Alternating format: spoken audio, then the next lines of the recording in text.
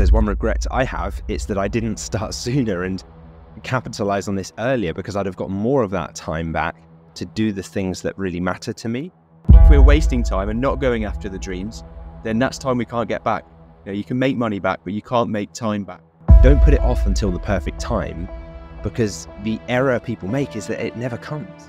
If you don't know how to make a hundred grand a month, for example, and you're making maybe five grand a month instead, then it's costing you £95,000 every month to not know how to make £100,000 that month.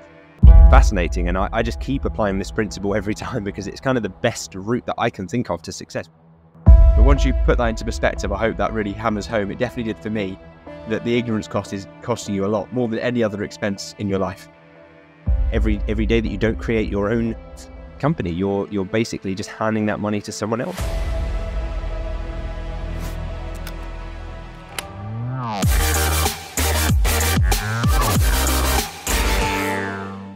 Welcome to the Dropship Unlocked podcast. I'm Lewis Smith, the founder of Dropship Unlocked, and with me is our client success coach, James Eardley. Now, when we're not recording the podcast episodes, we're running our own e commerce businesses and helping aspiring entrepreneurs launch their own high ticket dropshipping businesses. Keen to build your own six or even seven figure business? My book, The Home Turf Advantage, is your blueprint for launching a profitable online store. Grab your copy at htabook.com today and let's get you started. Now sit back, relax, and let's unlock your potential with the Dropship Unlocked podcast. Today, we're addressing a crucial topic that many aspiring entrepreneurs often overlook. It's the very real cost that comes before you start your dream business. It's not just about the financial aspects. Today, we're going to be talking about the time, opportunities, and potential growth so many people miss out on without realizing. So I think it's something that not many people talk about. And this is something that we want to bring into the light today. So, Lewis, let's dive into this. How crucial do you think it is to understand the value of time in business?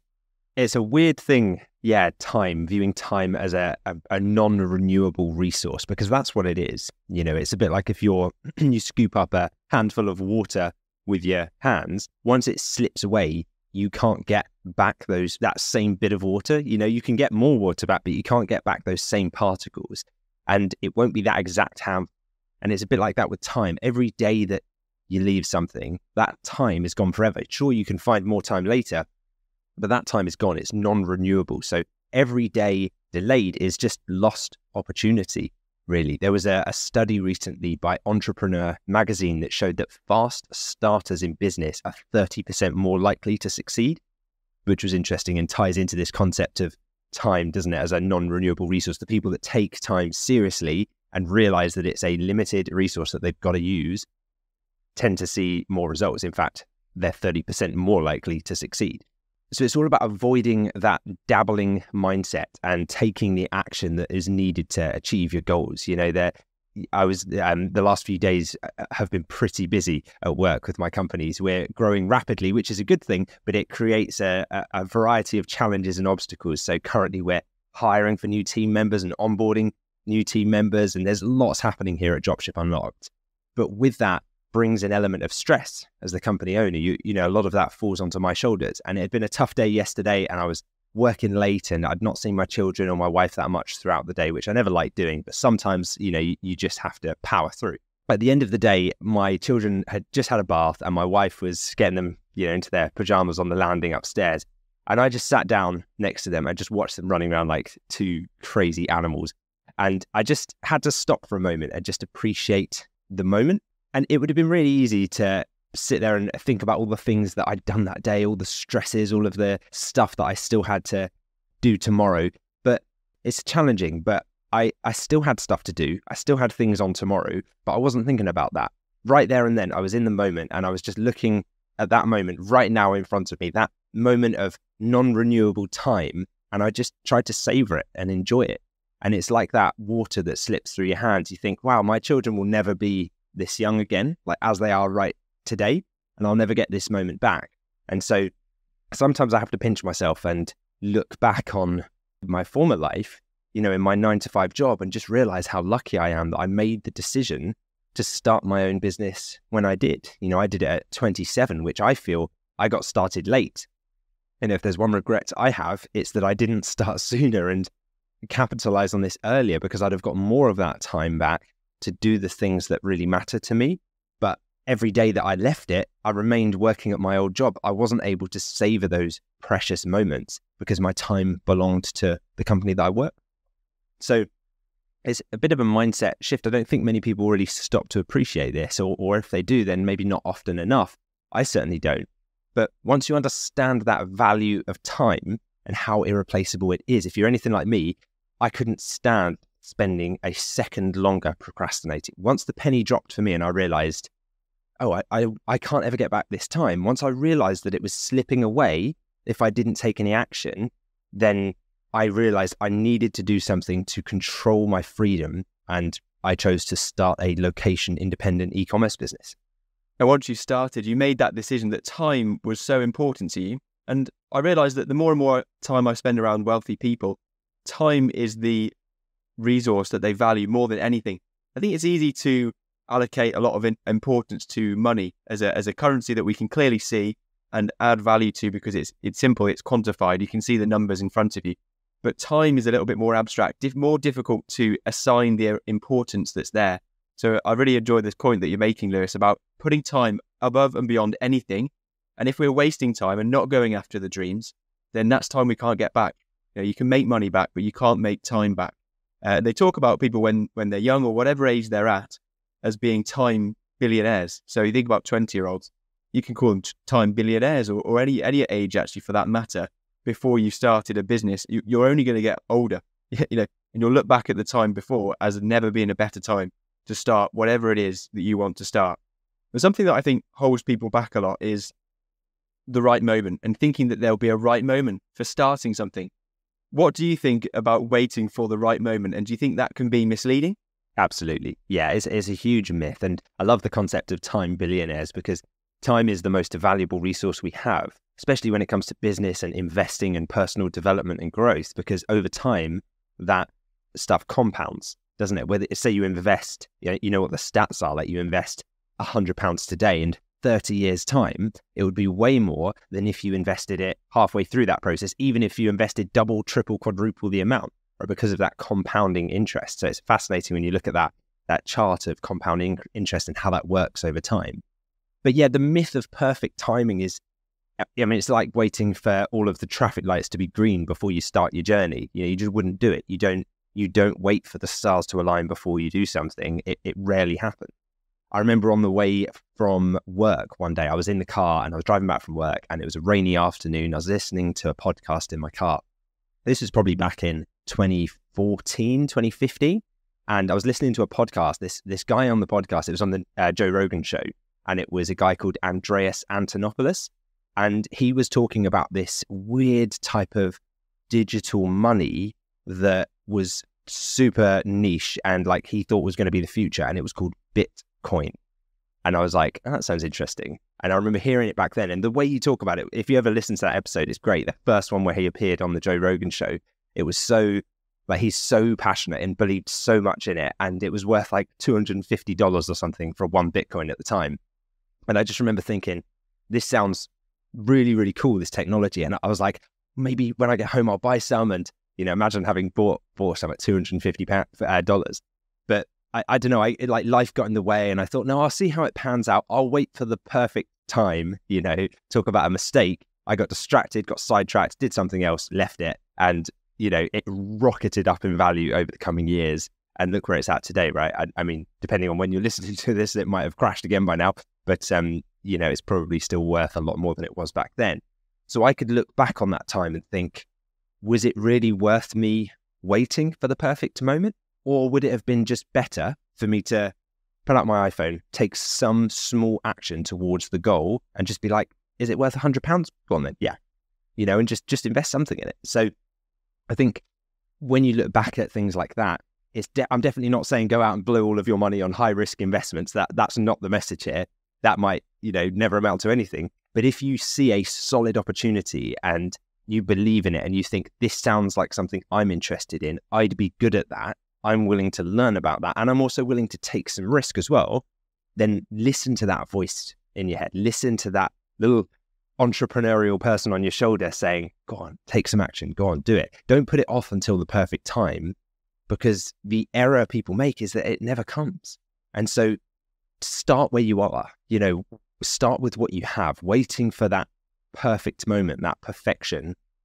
All it is really is procrastination in disguise, you know, or, or like you can dress it up however you want. It really is you trying to protect yourself from taking any risk. And that fear gets disguised as I'll just wait for the, you know, the things to, I'll wait till I'm back from holiday. I'll wait till I've, you know, it's the new year. I'll wait, like whatever the reason is. As they say, the best time to plant a tree was 20 years ago. The next best time is today, right now.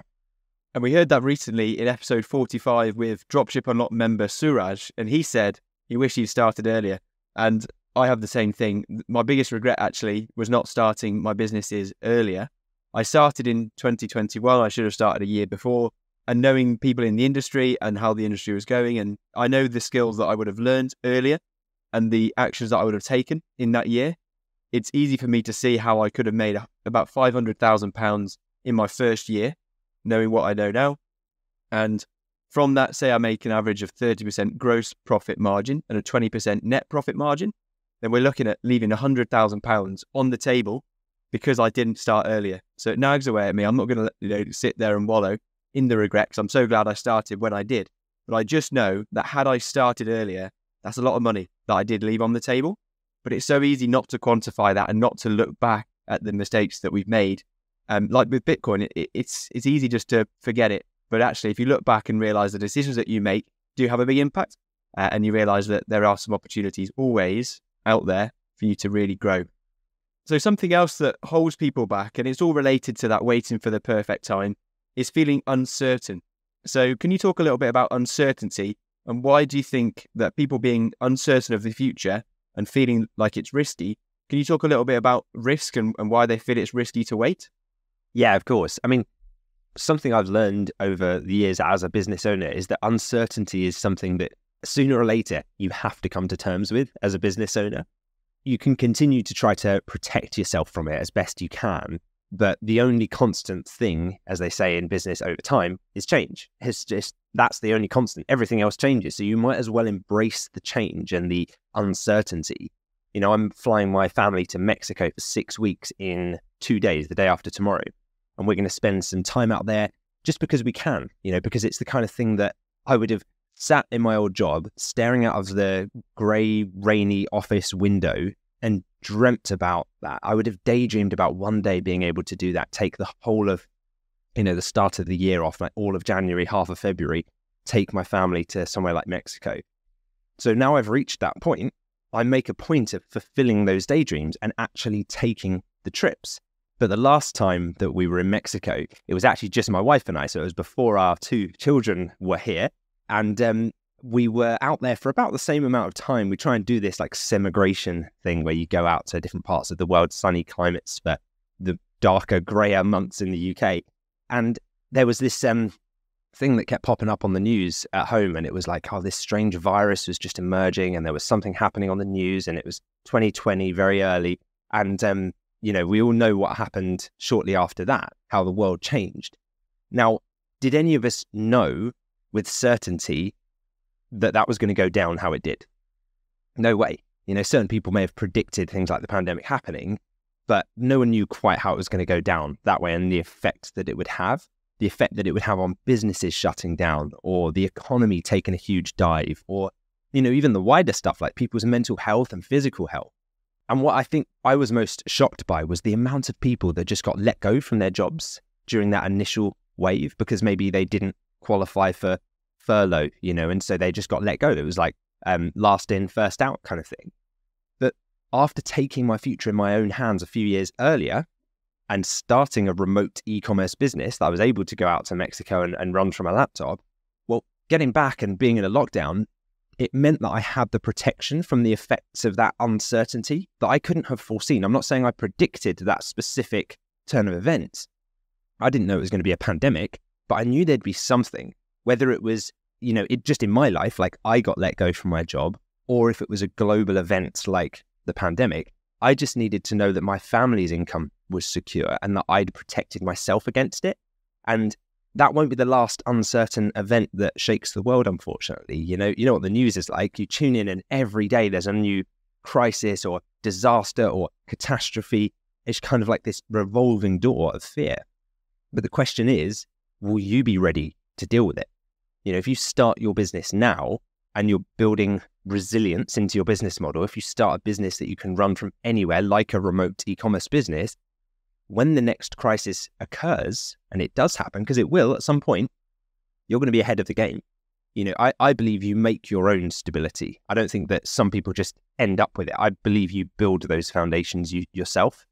And so, yeah, many people are under the illusion that a nine to five corporate job for their whole career is is stable and less risky. But then we hear about how many people who just get made redundant without any control and they're just left with no transferable skills that they can use in any other profession. And suddenly they, they have no choice but to, to pivot or take a huge pay cut. So when you start your own business and learn incredibly valuable skills, as you just mentioned, you could apply those skills in various different professions. It gives you more control both over your finances, but also over your future options as well, which is so important. And I was guilty, like so many, of thinking that a nine to five job is definitely the least risky option. Go into a big company like a, a corporate role, and you'll you'll be stable. But I saw so many people around me losing their jobs, and you realise that actually, whatever path you choose is risky. There's always going to be risk involved with whichever path you decide to go down. So that gave me the the realization that I should just go after what I want anyway. If there's going to be a risk with anything involved, then I should go after the real life that I dreamt for and dreamt about. And that really was hammered home when I read The Four Hour Work Week by Tim Ferriss. And you do the fear setting exercise and you realize that actually the risk that you want to take to start a business isn't that risky at all. You know, that you can deal with the downside and the potential upside is huge. So I recommend that book, of course, to anyone that hasn't already come across that. Um, but that helps to mitigate that fear of uncertainty and to stop wasting time because you're wasting money while you wait. So we're trying to quantify here the wasting time aspect and how much it's costing us. So we'll dig into that. But what do you think the, the, the daily sort of financial impact is for people that aren't starting and going after a dream business? Yeah, well, it's difficult to quantify, but imagine it like this. Imagine that you, so every day that you delay in starting your business, is like you have a winning lottery ticket that you know is a winner and you're just leaving it in a drawer on your desk. You're never cashing it in. You're never doing anything about it that opportunity cost is hands down the most overlooked cost. Now, that sounds like a, an extreme example, but it, it kind of is like that. Now, I'm not saying that starting a business is like winning the lottery immediately. If you're willing to roll the punches and overcome the obstacles that come your way and, you know, ride the entrepreneurial roller coaster with enough perseverance and grit and determination and, and the right strategy. So it kind of is like a, an eventual lottery win. Every day you wait is just another day that you don't have those those lottery funds to put in your own bank account and to start compounding. So you've got to realize every day of inaction is just costing you, both in, in terms of your time freedom, because all of the time that you're not cashing in that, you are locked doing what you're currently doing. So you have to realize that every day of inaction is really costing you. It's like having that winning lottery ticket there. And it's costing you both in time freedom, which is that irreplaceable currency that we said you can never get back because every single time that day ticks on another you know, um, day, another date on the calendar or another hour on the clock. You can't get that time back. But it's also costing you, leaving it there, actual currency because the money you could be earning from your business as well. And then, you know, what you do with that money is what will change your life. So if you're investing that money and allowing it to compound over time, that's that's all compound interest and compound gains that you're never going to get because the the capital is sitting in other people's bank accounts at the moment they're waiting to spend that money. They're going to buy the products anyway from, you know, a different e-commerce retailer. So every every day that you don't create your own company, you're you're basically just handing that money to someone else. So to give you an idea of the opportunity that's at your fingertips right now, small businesses in the UK contribute 2 trillion pounds annually to the economy. So that's every single year. Small businesses contribute 2 trillion pounds. It's a huge amount of money. And you know, you know when you get um, in a taxi um, and they start the meter and maybe like I've had it where I'm waiting for a friend or something and they're still in the restaurant and you're sitting there waiting and the, the meter's ticking on and you start to see the meter climbing and climbing, or you're sitting in traffic and you're just watching it go up, but you're not going anywhere. It's like that. The longer you wait, the more it costs you. Wow, that is really eye opening. Some of those stats you've shared with us there, I couldn't believe, to be honest, when, when you say about how much money there is out there. It's easy to fall into a mindset when you look at the news that's out there that things are failing and things are getting more difficult. And obviously, the world isn't perfect. But when you realize that there's opportunities there and you look on a more positive mindset, then you can realize how you can capitalize on that as well. Because that opportunity is there for you if you're thinking about getting started with a business. But I'm glad you mentioned there the two currencies that are being lost when you don't go after your dreams the time one and the money one. So I'll dig into that a little bit more. Firstly, the time one is, I think, the one that people should focus on. Because if you wait a year to not go after your dreams, that's a year that you'll never get back. But on the financial side, for the, the money one that's more easy to, to quantify, I love this thing that Alex Hormozi says. He says, if you don't know how to make a hundred grand a month, for example, and you're making maybe five grand a month instead, then it's costing you £95,000 every month to not know how to make a £100,000 that month. And if you shift the frame, I love that framework for, for looking at things and you realize how much it's actually costing you to not make that money and apply that to however your figures are at the moment, you realize that there's a lot of money being left on the table every single month by not knowing. It's like an ignorance cost. Uh, it's also opportunity cost that we've talked about a lot today as well. But once you put that into perspective, I hope that really hammers home. It definitely did for me that the ignorance cost is costing you a lot more than any other expense in your life. So I find it incredibly motivating to know that this opportunity is waiting for you uh, if you know if you take action and you work hard, and obviously it's not going to be a breeze, but there are opportunities out there for you to take. So, do you think we could dive into opportunity cost? What do you think the opportunity cost is, uh, Lewis, for people that are waiting? Yeah, I love that Alex Hormozi quote. By the way, the the um the the cost of ignorance, not knowing how to make 90, 100,000 is costing you 95,000. It's amazing.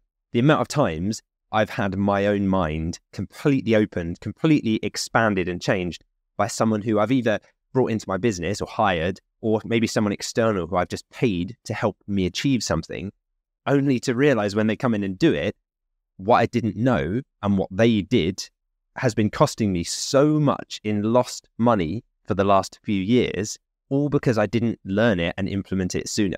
Like it, it just keeps happening. You, you keep seeing this pattern repeat, and you realize, okay, so this just happens again and again. You find someone who's already doing the thing you want to do, you pay them, they show you how to do it, and then suddenly you're doing it. But the whole time you didn't pay them and learn how to do it, you were suffering from the consequences of not knowing how to do it, which means earning a lot less money and potentially working a lot harder, not having your own time to spare and time freedom, location freedom. So it's fascinating. And I, I, just keep applying this principle every time because it's kind of the best route that I can think of to success. Why would I go and reinvent the wheel every time when I can find people who know how to do the thing I'm trying to do, help me do it, and then just pay them to find out how to do it faster and simpler than if I tried it on my own. And each time you get around somebody that knows something you don't, you learn that, you upskill, you up level, and everything else comes afterwards. So I used to think that you had to chase success. And if you wanted something, you had to go after it and chase it specifically. But now I don't believe that at all. I realize that actually success is something that gets attracted to you as a person. So you need to grow first, and then success will get attracted to you. It's not the other way around. You don't go after the success, it comes to you. And the way that I do that, and since starting a business, I realized that entrepreneurship and starting a business is just the external manifestation of personal growth. Essentially, the amount of personal growth that you can attain as a person is directly proportionate to your business. So they say with a business, as you're growing it, you're either earning or you're learning. And that learning ultimately attracts the success that you'll, you'll start earning after you've learned initially. So, to tie that all back to the conversation we're having, the longer you wait to start learning and to start succeeding, the, the longer it will take for you to get to where you want to get to. So, you mentioned earlier, Lewis, that you wish you'd taken one simple action when you listened to that Bitcoin podcast all those years ago. So, can we leave something for listeners and viewers today? Is there something, one actionable step that you would advise for anyone listening today? Well, now for a step by step guide, you could check out the episode of this podcast that we've done titled How to Launch a Dropshipping Business with a Zero Experience. That's a really good starting point. That's episode 27 of the Dropship Unlocked podcast. So that one is really good. That's packed with actionable advice to kickstart your journey if that's what you're trying to do. And I think the other thing is don't let the fear of starting keep you from the rewards of success. That will hold you back. If you visit htabook.com and pick up a copy of my book, The Home Turf Advantage, you can literally begin your journey today. Enjoying the podcast? We'd love to hear from you. Leave a comment or a review, and we might just feature it on an upcoming episode. Also, for detailed show notes and resources, head to dropshipunlocked.com forward slash podcast. If you found value from any episode of this podcast, please take just 10 seconds to leave us a quick five star review on your podcast app of choice. It helps us more than you could imagine, and who knows, you might just hear your comments on the show. Thanks for being part of our community. Your support helps us keep delivering a new episode every week. Now, let's answer a question that we've had in from a listener. So, thank you to Jonathan H., who's got his question in, and he got his question in by emailing us. It's podcast at dropshipunlocked.com. So, if you've got any questions for Lewis and I, then send that through. And Jonathan has asked today, so I'll, I'll pose this to you now, Lewis. Jonathan has asked if I decide to sell high ticket products, and I need to find out whether these products are high quality, will it not cost me significantly to test the suppliers because they're high ticket products? And how, how will I be able to find out if a supplier's quality is good even when selling high ticket products? Brilliant. Thanks for your question, Jonathan. So, with high ticket dropshipping, I'm glad to say that we can actually assess the supplier's quality without spending huge amounts of money, without a costly investment we can assess the supplier quality without directly buying or investing in their products. By selecting high quality established UK suppliers who already have a track record of working with other retailers, we can gauge the reliability and the quality standards. We can look at reviews. You know, before partnering with suppliers, we'll thoroughly check customer reviews online and we'll check out their market reputation to see were other customers happy with these products because you'll likely be selling the same brands that some other retailers are selling. So you don't have to invest in them yourself to find out whether customers are happy with them and the quality assurance and control issues are ironed out or whether there might be some problems. This step really is crucial in ensuring that the products that you sell meet your high quality standards without you having to personally purchase and test each item. Because as you say, Jonathan, it would get extremely expensive if you had to keep buying like £2,000 items just to test them out. So it's a bit different to other types of dropshipping you might have heard of before, where you'd order like sample products yourself first. You don't have to do that with the Home Turf Advantage model. We guide you through how to do it. But in a nutshell, partnering with reputable suppliers within your own country, it simplifies the whole process, especially the return process. So if you ever did get a, an issue with a product and the quality didn't meet the customer's expectations, and say the customer says, Do you know what, Jonathan, I want to return this product, then the supplier just handles it for you because you've already verified before you partnered with that supplier that they are the type of supplier that would happily take back a product if it didn't meet quality assurance standards. So that way, we get a full refund as the retailer. So we get our trade cost back from the supplier and we just refund the customer as well. And usually, if the customer's happy for a replacement, the supplier will then send out a replacement product to the uh, the customer if they don't want the refund and they'd rather just have a replacement. So it's really nice and simple doesn't cost us anything. And yeah, the other way that we can keep track of things is just make sure we monitor quality issues because they will come up from time to time. If you're getting a supplier that's got frequent returns, lots happening, you can kind of evaluate that supplier over time and maybe you decide to not sell their products or not promote them as heavily. That just helps us maintain higher standards for the products that we do offer. So the thing to remember is that a supplier's brand reputation is also at stake here. You know, it's not just you and they're going to send you any old rubbish. If that's the case, we don't we don't partner with them. They're generally motivated to provide the best quality as well because they want to protect their own business interest. So hopefully that answers your question, Jonathan, on that one. Perfect. Thank you, Lewis. Yes, great answer and a great question from Jonathan. So thank you for that. Now we're also going to highlight a recent review that we've had in for the podcast. So a big thank you to Russell PLMR for sharing your thoughts. Uh, I think it was a YouTube comment where he left this nice review of the podcast. So Russell said, Love the podcasts and I can't wait to start the program. Amazing. Thank you so much for your review, Russell. Glad to hear that you've been enjoying the podcast. And I know you said you can't wait to start the course, but I believe you did recently join the Dropship Unlocked Masterclass as well. So welcome aboard on that front. Would you like to make an appearance on the podcast? Well, it's easier than you might think. Simply leave us a quick review on whichever platform you listen to us. Or if you're on YouTube, drop us a quick comment under this video. And we love featuring your insights in upcoming episodes. And as we wrap up, why not share this episode with someone in your circle? The journey of entrepreneurship in e commerce is filled with insights that could spark imagination in a friend or a family member. So, sharing this talk that we've had today just might be the nudge that they need to explore the world of online business and start their own journey towards financial freedom. Thanks for joining us on this episode of the Dropship Unlocked podcast. We hope you're walking away with insights and inspiration. To kickstart your e commerce journey, grab a copy of my book, The Home Turf Advantage, at htabook.com. It's a distilled guide based on real experience to help you build your e commerce venture. Don't forget to hit the subscribe button for more strategies and success stories. And if you like what you heard, a five star review would mean the world to us, and you might just get a shout out on an upcoming episode. And finally, thank you for deciding to spend your time with us today. We can't wait to bring you more insights on the next episode of the Dropship Unlocked podcast.